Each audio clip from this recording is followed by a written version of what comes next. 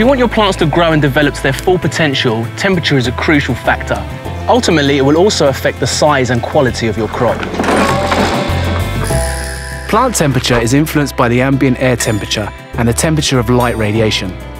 The temperature of your plants will generally be lower than the temperature of the air around them, as long as the transpiration rate is normal.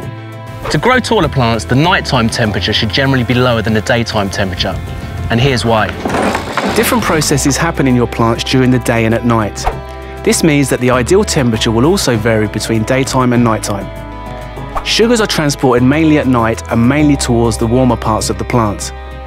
Leaves cool faster than fruits and flowers, so most of the sugars move from the leaves towards the fruits and flowers.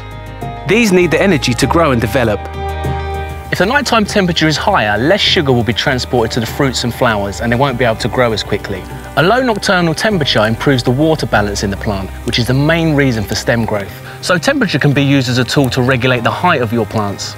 A lower nocturnal temperature can also be used to save growers money on their heating bills. The difference between daytime and nighttime temperatures is a crucial factor in horticulture. By subtracting the nighttime temperature from the daytime temperature, will give you a number which growers call the DIF. DIF does not impact much on the growth of the foliage, but it does influence the lengthways growth of the stems. DIF has the greatest effect on stem growth when the plants are growing the fastest. So seedlings are more sensitive to DIF than the adult plants. A negative DIF at an early stage of growth is crucial if you want to limit the height of your plants.